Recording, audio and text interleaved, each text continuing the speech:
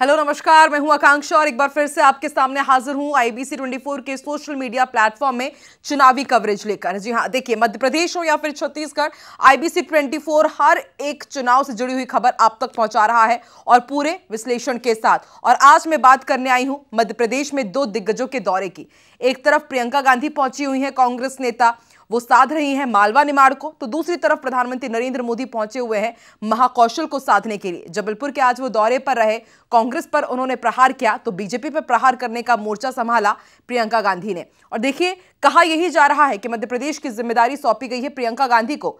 उन्होंने चुनावी शंखनाद किया था जबलपुर से, महाकौशल से, और आज उसी महाकौशल को साधने के लिए प्रधानमंत्री नरेंद्र मोदी यहाँ पर पहुँचे हुए हैं, जो इससे पहले, सिर्फ़ दो दिन पहले, ग्वालियर पहुँचे थे, ग्वालियर चंबल संभाग को साधने के लिए, और वहाँ भी प्रियंका गांधी पहले पहुँची हुई थी। तो आप क्रोनोलॉजी समझ रहे हैं। प्रियंका गांधी पहुँचती हैं जबलपुर, प्रधानमंत्री नरेंद्र मोदी जबलपुर पहुँचे, प्रियंका गांधी ग्वालियर पहुँची, और अब प्रधानमंत्री नरेंद्र मोदी भी जबलपुर पहुँच गए ग्वालियर पहुँचने के बाद अब वो जबलपुर में है, और रानी दुर्गावती के स्मारक का उन्होंने लोकार्पण किया। उससे पहले उन्होंने रैली की, उसकी तस्वीरें भी आपने आईबीसी ट्वेंटी पर देखी। लेकिन आपको हम यहाँ पर सुनवा रहे हैं, प्रधानमंत्री नरेंद्र मोदी ने क्या कहा, प्रियंका गांधी ने क्या कहा, ये तो आपको सुनवाएँगे ही। लेकिन ये सुनना बहुत ज़्यादा ज़रूरी हो जाता है कि पीसीसी चीफ ने किस तरह से सीएम शिवराज सिंह चौहान पर करारा प्रहार किया है। क्या उन्होंने कहा?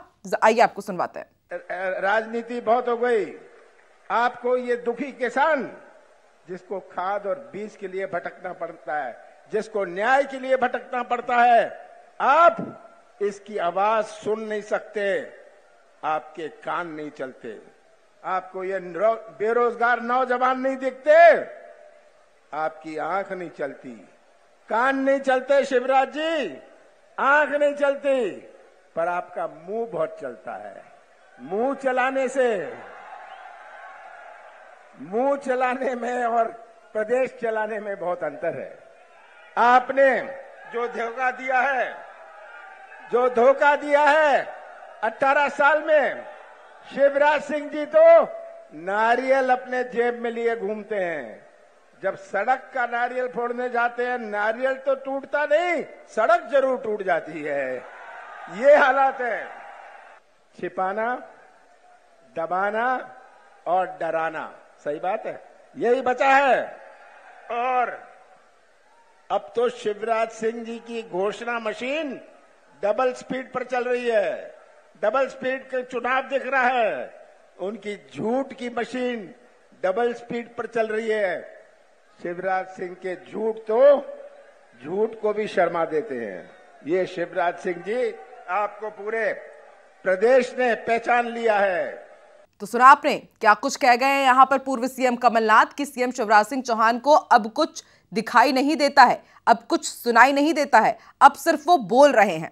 और इससे पहले भी कमलनाथ कह चुके हैं सीएम शिवराज सिंह चौहान को कि वो घोषणा मशीन बन चुके हैं, मशीन मंत्री बन गए हैं, मुख्यमंत्री की जगह। डबल स्पीड से उनकी झूठ की मशीन चल रही है। यानी कि सीएम शिवराज सिंह चौहान जहाँ जा रहे हैं, सौगात दे रहे हैं नई नई घोषणाएँ कर रहे हैं और इसी को लेकर के कांग्रेस तिलमिलाई हुई है कि कहीं अगर जो घोषणाएँ की जा रही है, अगर जनता ने उन घोषणाओं पर, उन ऐलानों पर मुहर लगा दी तो एक बार फिर से शिवराज के सर पर ताज सज जाएगा सत्ता का। इसको लेकर के तिलमिलाए हुए हैं। लेकिन प्रियंका गांधी आज जब राजगढ़ पहुँची, सबसे पहले मोहन खेड़ा जैन तीर्थ स्थल जाकर के उन्होंने दर्शन किए और उसके बाद बीजेपी पर जब वो प्रहार करने के लिए शुरू हुई तो सबसे पहले उन्होंने सीएम शिवराज सिंह चौहान को घेरा। उन्होंने कहा कि पीएम को सीएम का नाम लेने में शर्म आती है और उन्होंने ये तो तय ही कर दिया है कि सीएम शिवराज सिंह चौहान इस बार सीएम फेस नहीं होंगे। प्रियंका गांधी ने इसको लेकर के भी निशाना साधा। अपराध को लेकर के उन्होंने निशाना साधा। भ्रष्टाचार को लेकर के उन्होंने निशाना साधा। उनका कहना है कि यहाँ के जो अधिकारी है, यहाँ के जो नेता है आकंठ भ्रष्टाचार में डूबे हुए हैं, गले तक भ्रष्टाचार में डूबे हुए हैं। तो वो तमाम मुद्दे हैं जो लगातार वो उठा रही हैं। इससे पहले भी जब वो ग्वालियर पहुँची थी तो उन्होंने कहा था, सिंधिया का गढ़, क्योंकि कहा जाता है ग्वालियर को तो उन्होंने कहा था कि सिंधिया के जो विधायक थे, खरीद फरोख्त के शिकार हुए और उन्होंने हमारी सरकार गिराई, लेकिन इस बार कांग्रेस की सरकार बनेगी। उन्होंने ये दावा किया है। कई उन्होंने यहाँ पर प्रहार किए बीजेपी के ऊपर तो वहीं बीजेपी की तरफ़ से मोर्चा आज संभाला है महाकौशल को साधने के लिए। महाकौशल की बात मैं ज़रूर करूँगी, लेकिन उससे पहले मैं आपको जरा मालवा निमाड़ के बारे में बता दूँ। देखिए, मालवा निमाड़ के बारे में कहा जाता है कि ये आदिवासी बाहुल्य क्षेत्र है। और जिसने मालवा निमाड़ की ज़्यादातर सीटों को अपने कब्जे में कर लिया, सरकार उसकी बनती है। लेकिन पिछली बार बीजेपी को यहाँ से काफ़ी फ़ायदा हुआ था, क्योंकि मालवा निमाड़ में कई दिग्गज नेता है बीजेपी के, और इसलिए माना जा रहा है कि अब जो नई लिस्ट आएगी बीजेपी की, उसमें कई मालवा निमाड़ के जो बड़े छत्रप हैं, उन्हें यहाँ पर ज़रूर प्रतिनिधित्व दिया जा सकता है, उन्हें यहाँ पर टिकट दी जा सकती है। महाकौशल को साधने के लिए प्रधानमंत्री नरेंद्र मोदी आए हुए हैं। आज वो बड़ा एक रोड शो कर रहे हैं। और अब आप ज़ाहिर सी बात है, आप सोचेंगे कि चुनाव के पहले आखिर क्यों पहुँचे प्रधानमंत्री नरेंद्र मोदी? रानी दुर्गावती के स्मारक की, उनको अभी क्यों याद आई है? तो अब समझ सकते हैं आप कि चुनाव का चक्कर है और चुनाव में जनता को साधने के लिए, उन्हें लुभाने के लिए प्रधानमंत्री नरेंद्र मोदी अब मध्य प्रदेश में ताबड़तोड़ दौरे दौरे कर रहे हैं।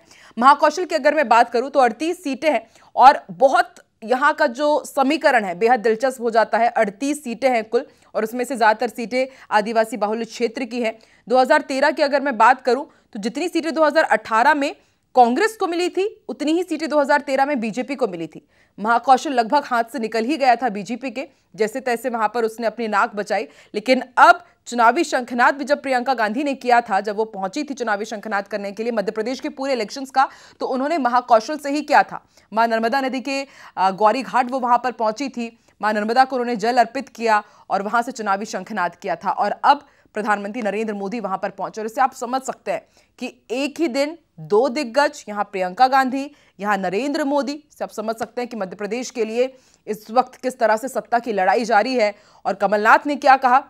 इसको लेकर के अब वार पलटवार, सियासी प्रतिक्रियाएँ तो हमें देखने को मिलेंगी ही। लेकिन आप क्या सोचते हैं? इस बार मध्य प्रदेश में किसकी सरकार बनेगी? कमेंट सेक्शन पे आप ज़रूर अपना राय लिखें। आप अपना सुझाव ज़रूर दें और इससे फिर देखने, देखेंगे कि जनता क्या सोचती है और क्या वाकई रिजल्ट्स उस तरह के आएँगे, ये भी काफ़ी इंटरेस्टिंग हो जाएगा। और यदि आपको महाकौशल के और समीकरण समझने हैं, आपको मालवा निमाड़ के और समीकरण समझने हैं तो आप कमेंट सेक्शन में ज़रूर कमेंट कीजिएगा।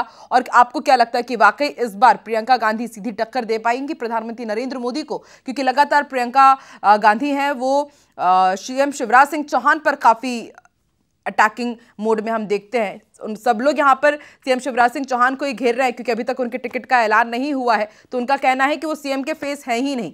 जितने कैंडिडेट्स हैं, सभी सीएम के फेस हैं। बीजेपी का ये कहना है कि हम सामूहिक नेतृत्व में लड़ेंगे, और इसलिए सीएम शिवराज सिंह चौहान को लेकर के लगातार अटैकिंग मोड पर है कांग्रेस। तो आपको भी क्या यही लगता है कि यदि एक बार फिर से बीजेपी की सरकार रिपीट होती है तो इस बार क्या मुखिया शिवराज सिंह चौहान को नहीं बनाया जाएगा? कमेंट ज़रूर आप कीजिएगा और आप किसे मुख्यमंत्री के रूप में देखना चाहते हैं, कमेंट कीजिए, अपनी राय हमारे साथ साझा ज़रूर कीजिए और आईबीसी 24 आप देखते रहिए हर एक चुनावी खबर से अपडेट रहने के लिए, हर एक खबर का पूरा अपडेट जानने के लिए। नमस्कार।